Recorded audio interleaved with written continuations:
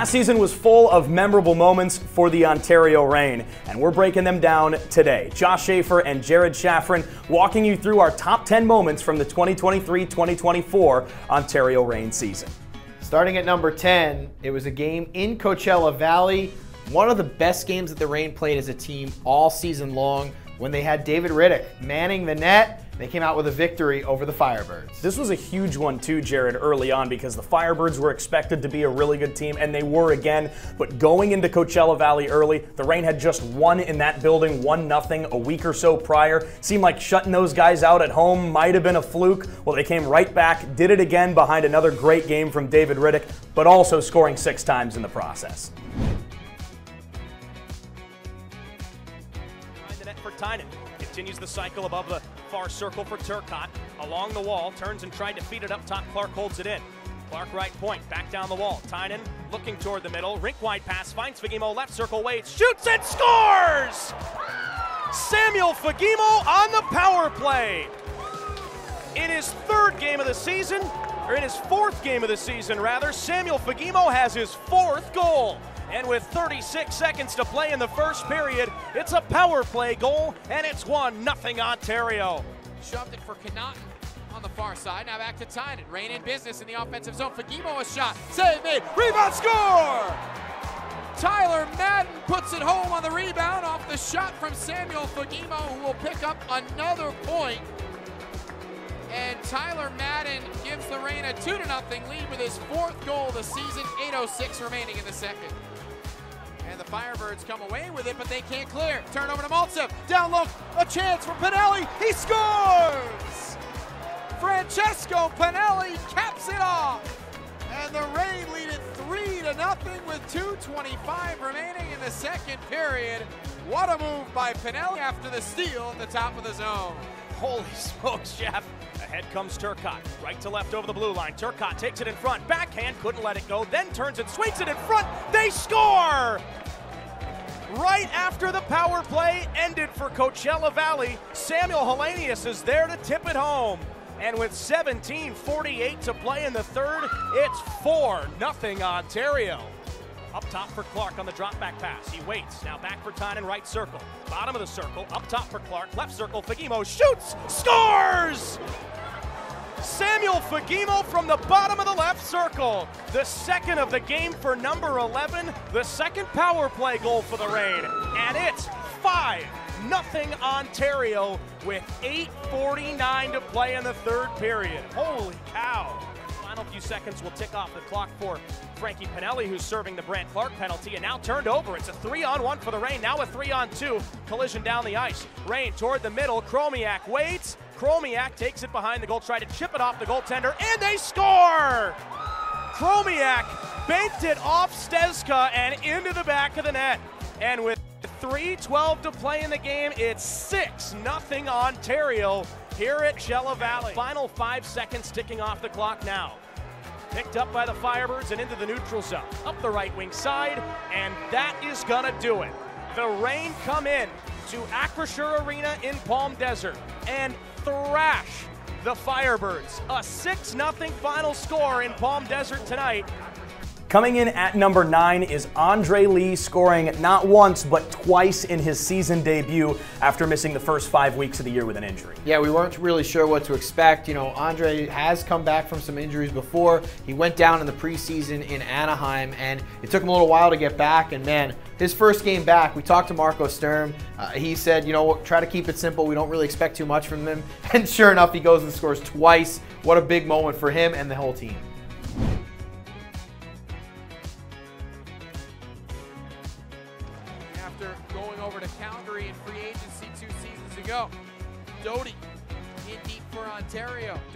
Middle, a shot from Andre Lee. He scores! Andre Lee on the board in his return, and Ontario retakes the lead. It's 2 to 1 with 16-18 left in the second. Wolf around the boards, held in by Doty. Back behind the net for Helenius. Shrugs off a check and skates far corner. Muscles it up to the blue line. Santini to the left side. Moverare shot. He scores! Deflected in front by Andre Lee.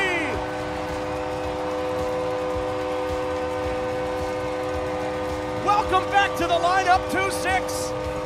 And Ontario takes a 3-2 lead. Coming in at number eight, the first game that Erik Portillo played of his professional career in Bakersfield, and a pretty awesome moment there. It was a great night for him as the Reign had a little bit of a slow start to the season, lost a couple games against San Diego, but started to get the momentum in Bakersfield. Yeah, they lost their first two games at home and then went on the road for their next two. And in a back to back scenario, the Reign won those two games away from home. And this one for Erik Portillo, he only had to make 15 saves. It was probably Ontario's best defensive game of the season at that point. But what stands out to me is he just looked so calm and composed and ready for when those shots did eventually come his way. And not only is that night capped off with his first pro win, but it's capped off with one of the saves of the season for Erik Portillo in the third period.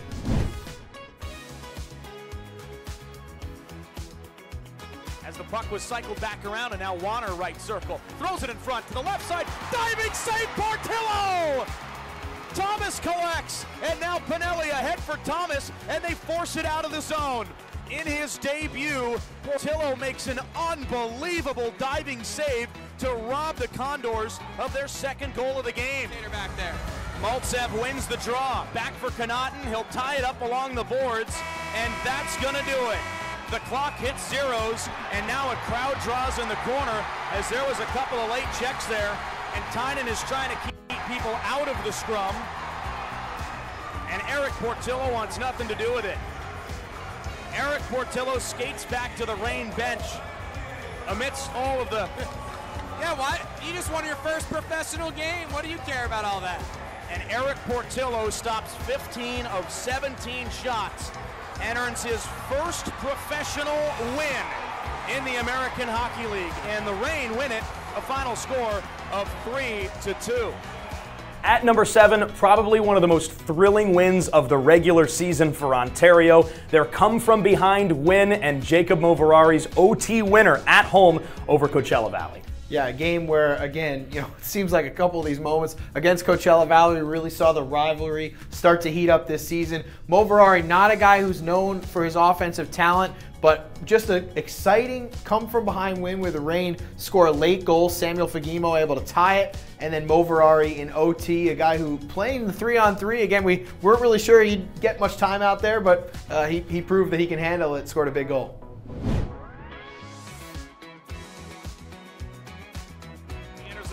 It to the middle. Fagemo, left circle, Wade shoots and scores!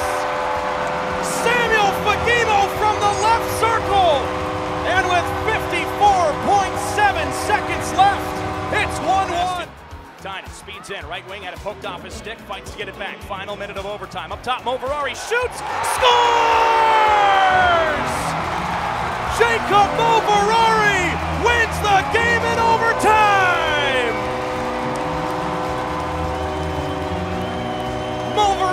Verari's second of the season. His second against the Firebirds, because two is better than one. And the Reign beat the Firebirds tonight. A final score, two to one in overtime. The Reign finished as the number three seed in the Pacific Division during the regular season and opened up their postseason play with a home game against the Bakersfield Condors to open a very short series, best of three. So, game one always meaning so much, but especially when you have a short series. And they really showed that they were going to be up for a postseason run, uh, dominating Bakersfield once we got to the second period. Yeah, the first period against the Condors in game one was very tight, could have gone either way. Went to the second period 0 0, and you get those tense moments. You know, it's the first game of the playoffs, a short series, you don't know what to expect. That first goal could change everything. Well, forget about the first goal. The Reign scored four times in the second period to build a massive lead. It all started with Andre Lee, who again had come back from injury at the right at the end of the regular season and had been terrific for the Reign. And it just seemed like this moment that was like, wow, the Reign are here and they're ready to go. And that really set the tone, not just for that series and that game against the Condors, but really for the next five playoff games that the Reign played.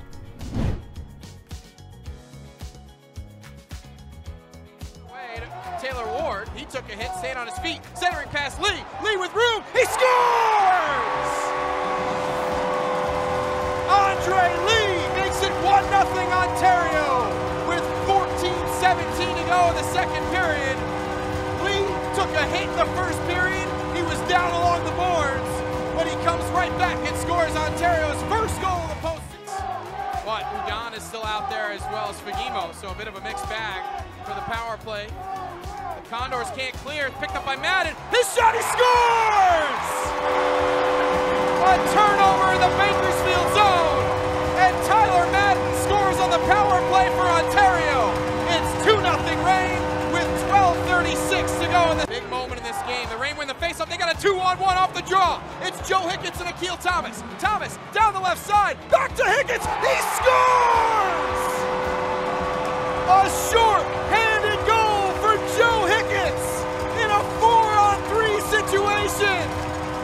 Ontario leads it 3 0 right off the draw. Near wall. Hudon banks it ahead for Tynan. Tynan, right side. Looking. He's got a little pressure now. He finds Thomas, who scores! TJ Tynan feeds Akil Thomas, and the Reign have four goals from four different scores in the second period. They lead it four to nothing with 143 to go in the second. A really fun moment coming in at number five with the All Star game in San Jose this year. You were there, Jared, to see Brandt Clark put on a show at the Skills Showcase. Yeah, he just is made for these type of moments. Uh, opportunity for him to compete against his brother earlier in the night, but he stepped up for the accuracy shooting challenge and did not miss. Went four for four. Uh, an unbelievable performance. Only been done a few times in AHL history. Let's check it out. Ontario Reign defenseman, Brad Clark.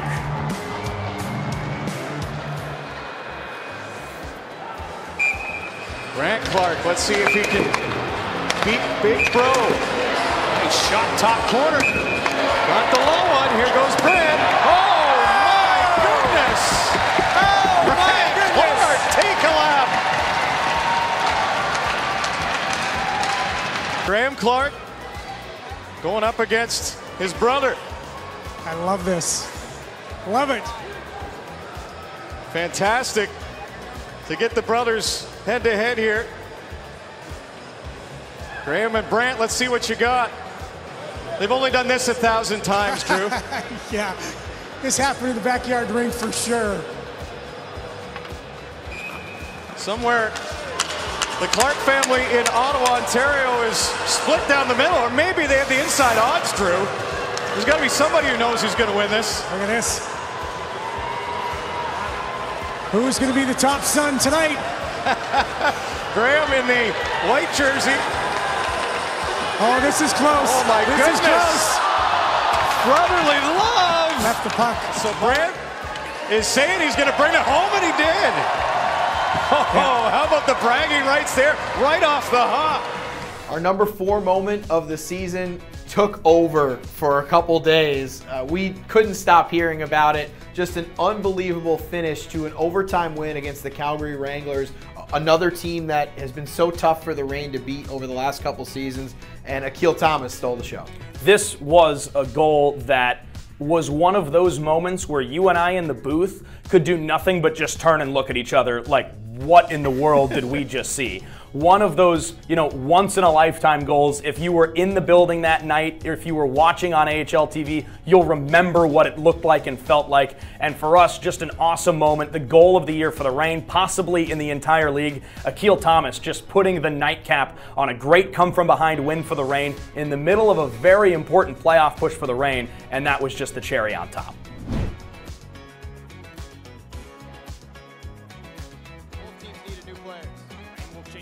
Santini, Thomas, and Ward for the Reign. Thomas, left to right over the red line. Ward to his left. Santini behind him. Spins. Backhand scores! Akil Thomas, what a goal!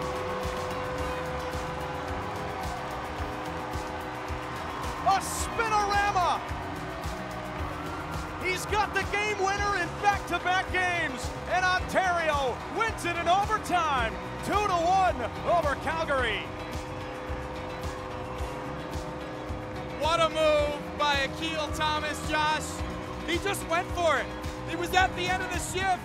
He moves in on the left side and said, I'm just going to go for it. Backhand. Whoa. Shelf job, top right corner. wins it for Ontario.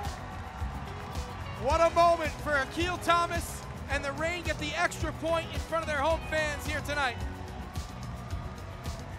Now, Ontario Reign leading goal scorer Samuel Fagemo had multiple hat tricks this season, but probably the most important for the Reign was a record breaking goal. His 41st goal of the season to set an Ontario Reign record. At home, it was a big moment. Yeah, I mean, Sammy was all over the score sheet all season. And again, the Reign, their playoff future was secure at this point in the season, but they still had a lot to play for as far as seeding. This was the final home game of the regular season against a rival in San Diego, a very close game that was going back and forth. Went to overtime. Sammy had already scored his 40th of the season, and he broke the record for the most goals that a Reign player has scored in a single season in team history with this overtime victory.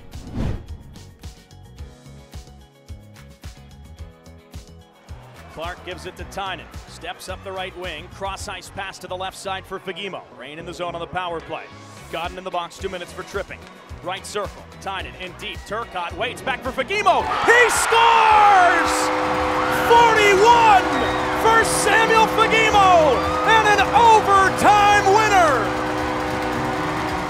Already spoke about game one of the Calder Cup playoffs when the Reign defeated Bakersfield at home, but game two against the Condors on the road at Mechanics Bank Arena, again, a short three game series can change so quickly. It was a very tight game. Taylor Ward scored a goal to get the Reign even in the second period, and it was anybody's game in the third. It was getting dicey, and Tyler Madden stepped up. Yeah, this is one of those moments where you look back on and you think that this is a play that almost doesn't happen because the stretch pass forward to find Tyler Madden kind of got knocked around a little bit. It was a Bakersfield young defenseman who was playing a great game and had that one little lapse and coughed the puck up to Tyler Madden. And Tyler Madden, this was peak Madden mania in the playoffs as well. He had a terrific postseason, and he certainly wasn't going to miss this shot to send the Reign through to the next round.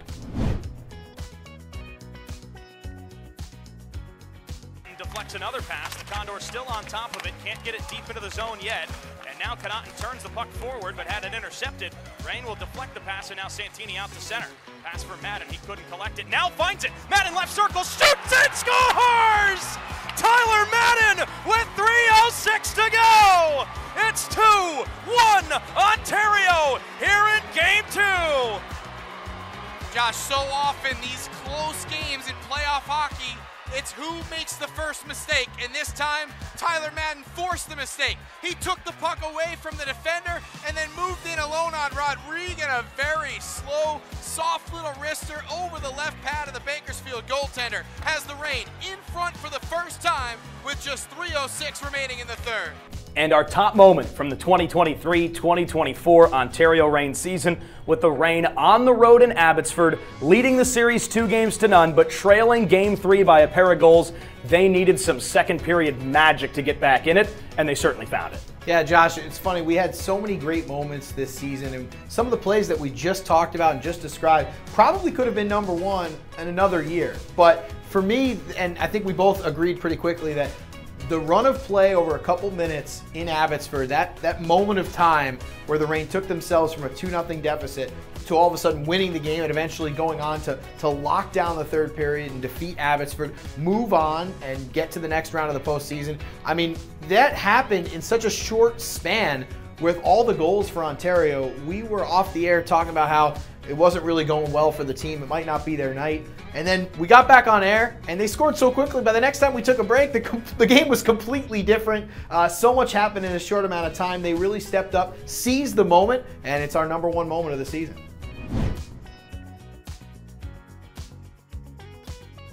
It's left point, a shot deflection by Fagemo, but it went wide of the net. Fagemo was open in front, had the right idea, just missed on the deflection. Now Fagemo on the rebound with help from Turcotte, swung it at Hicketts, and it's in! Samuel Fagemo deflects it in, and they have not called this a goal. Fagemo was celebrating, the officials just putting his hand in the air. The goal light belatedly went on. It looked like the puck went to the top shelf. The official who was there on the goal line, Josh, did not make a call on the play on the attempt there in front, the only official assist. Abbotsford had a chance that was broken up back in Ontario's end, and now it's Charles Hudon for Thomas. Back into the zone, Madden. Thomas, Hudon open, he scores! The Reign have tied it in a matter of seconds. here in the second period. A beautiful executed rush, and Charles Hudon hits the top shelf. This game is tied 2-2 with 10:24 to go in the second period. And Hicketts out to center, was deflected on by Andre Lee. Rush for Ward, and Helenius down low trying to get possession of Ward. It was blocked. Another chance in front, save, rebound, score! Taylor Ward on the rebound, and Ontario has the lead. It's three to two with 9:40 to go in the second period. The Reign get the puck in the zone. They get a rebound, and Taylor Ward cashes in with his second goal of the playoffs. Again, just missing.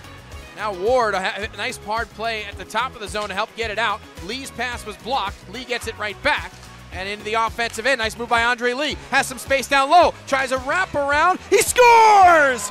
What a play by Andre Lee! And Ontario is back in front, 4 to 3, with 2.29 to go in the second period. Andre Lee did it all himself and then just laid down on the ice in exhaustion after scoring his third goal of the playoffs. And that wraps up our top 10 moments from the 2023 2024 Ontario Reign season. You mentioned it, Jared. We had so much fun making this list. So many moments that unfortunately just don't make the cut because it was such a great year. Ontario's deepest postseason run since their first year in the AHL, and we're certainly looking forward to the year ahead and so many more memorable moments to come.